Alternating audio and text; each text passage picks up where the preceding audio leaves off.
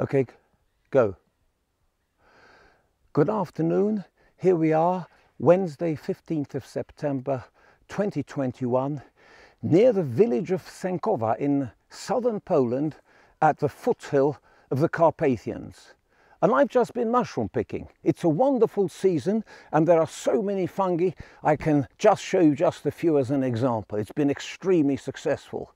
But what I wanted to do now is to create a scene for you that could have happened 3,000 years ago in this exact forest, in this exact place. And coming home then with the mushrooms, extremely good spirits, I then trudge my way home. And as I walk home, I suddenly step into what looks like quite a boggy terrain. But then I look at the bog itself and I see that it, the water in it seems to be a little bit different from the water from which I'm used to. It seems to be black and slimy. So I put my fingers in because we as humans are hugely curious to know about things in the world. And I look at that and I say, oh, my word, this isn't the water which is just in that lake over there, that small pond over there. This seems to be a completely different kind of water. So, of course, being curious as all humans are, I would have smelt it and I would have said, Whoa, that's definitely different. It's a, it's a, smell which I can't describe. And at the same time, I notice it's very, very slimy and slippery. So what would happen? Well, I would have given it a name. I would have got back to my friend and said, hey, guess what? I found a new kind of water, black, smelly water. And that's exactly what people did in those days. But being curious and being intelligent, people have always wanted to know more. So they would have come back. And I wanted to tell you also that this black, smelly water oozes out of the ground in this place. It actually comes out of the ground. And all around in this forest, there are places similar to this where this black, smelly water oozes out of the ground. So what I want to do now is to just show you how we as intelligent human beings have learnt a few things about this black, smelly water. I have here set up a few bits and pieces from a modern chemical laboratory and I just wanted to show you a few of the most basic things that people would have done in connection with this black smelly water. Well, obviously, the first thing is they would have compared it with normal water. You see here I have in my flask, beautifully, this is a bit of water from the pond just above there. And they would have said, well, that's peculiar. How come that water in the pond there is like that and this water which comes out of the ground is like this? So if I pour a small amount of this on like that, you see, it initially sinks to the bottom, but then it floats to the top. And if I take my flask, holding it beautifully illuminated in the sunlight, you can clearly see there are two layers. But then people said, well, what happens if you mix these layers? So I'll mix them together. And there you see, it's become a horrible black mess, all mixed up together. But hold a few minutes. If we now wait for a minute or two, then very rapidly you will see that the layers start to separate again.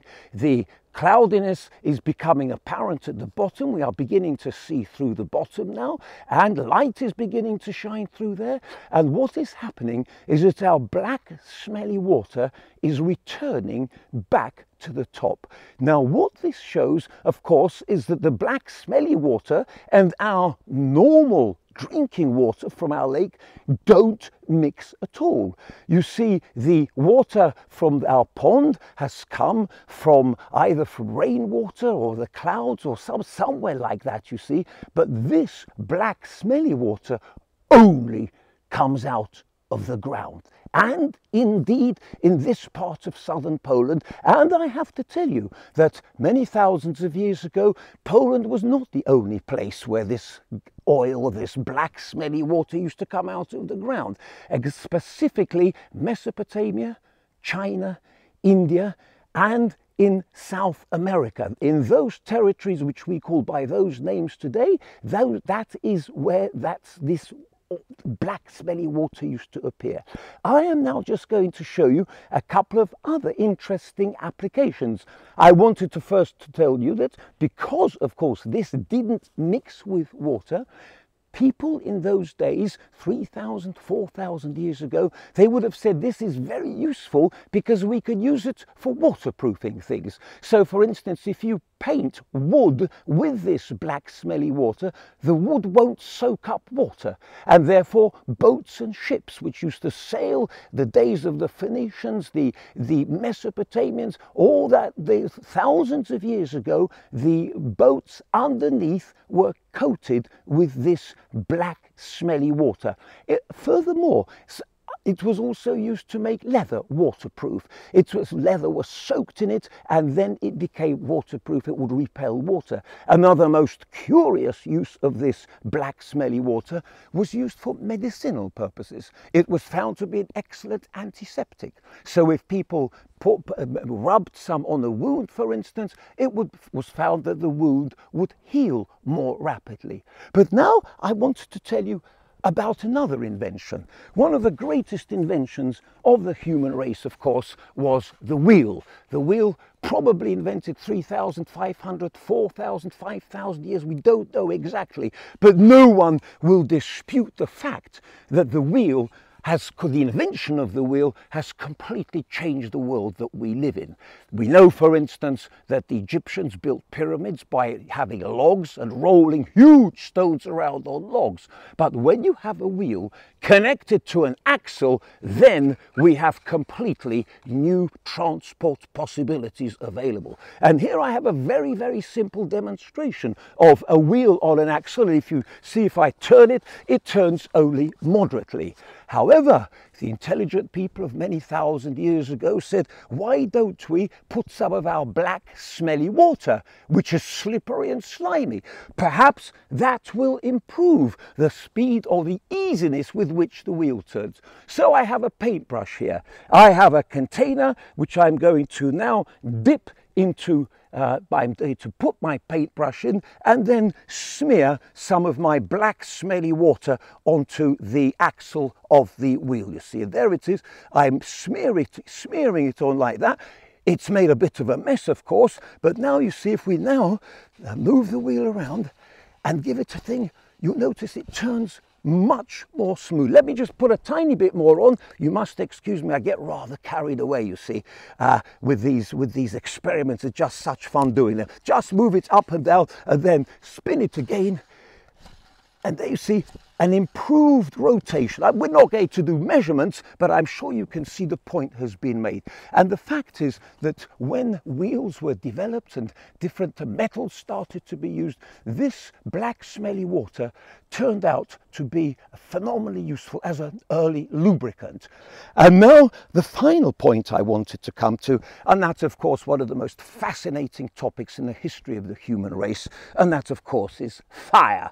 And as we know, as I've mentioned before, fire, a flame like this, is one of the greatest triumphs of early human civilizations.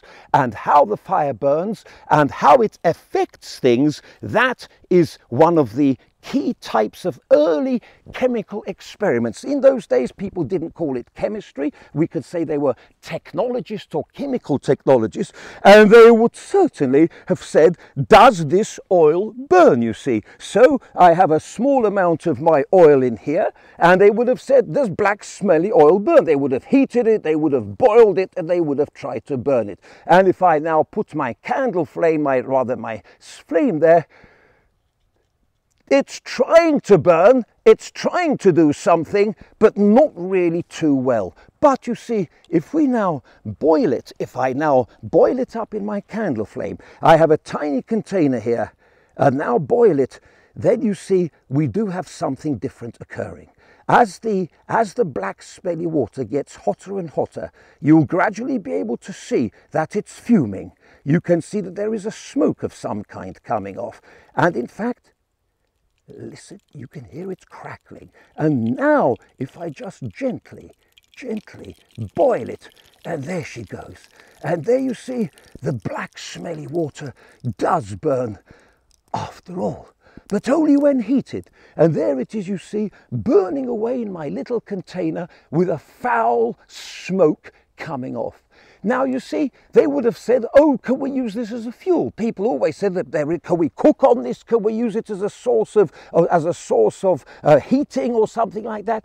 Clearly not, because this foul, smoky flame doesn't catch fire that easily, and therefore it, um, it, it, we did not use it for many, many hundreds of, many centuries. This black smelly water did not serve as a fuel until the development of modern chemistry. Now I just wanted to show you one more tiny experiment with this because this type of oil was used, but not this particular type of black smelly water or oil. I'm just going to put this on the ground. I have to be very careful, by the way, not to set fire to the forest. That's why I'm letting this burn itself out. We're carefully putting it down there. It will continue to burn. And excuse me, my tongs have got slightly caught up in it. We shall monitor that fire very carefully indeed. And I just wanted to show you one other thing, you see. I have here a piece of string. This piece of string, which I'm holding here, has been soaked in our black smelly water. And what I'm going to do is I'm going to put this, and this hasn't been heated up, you see. But if I now set it, put, place it into my flame, you will notice, you will notice that the flame will gradually, that the, that the, that the flame will take hold of our string, which is soaked in this Uh, in this black smelly water. And you see the reason why is that the heat from the flame heats up the uh, the um, black smelly water which is soaked onto the onto the string and as it heats it up so it causes it to catch fire now what i'm demonstrating is a simple a very very basic wick and of course the the story of lighting and of using different types of oil um, is a separate story indeed, but please watch how beautifully it continues to burn. Now, what I've shown you, of course, uh, has fascinated people for thousands of years, as I have already told you. And um, in fact, uh, when the chemists started to understand how substances change into different substances, how they started to understand how substances burn, and how to separate substances, then great progress was made from the middle of the 19th century onwards in our understanding and our use of this black smelly water, which of course, I am sure you will have guessed by now, today is called crude oil, otherwise known as petroleum. And the word petrol, by the way, is derived from petroleum. And where is the word petroleum derived from? It comes from two Latin words which literally mean the stone oil. It's oil which comes out of the stones. And that is what we have here. And what, of course, 3,000 years ago, it would never ever have crossed even the most extraordinary person's mind, extraordinary thinker's mind. It would never have occurred to them that 3,000 years down the line, it is thanks to our understanding of the way we could use this black smelly water, otherwise known as crude oil, that in today's world, in the 21st century, thanks to this, today giant man-made metal birds are able to transport hundreds of people at a time across planet Earth.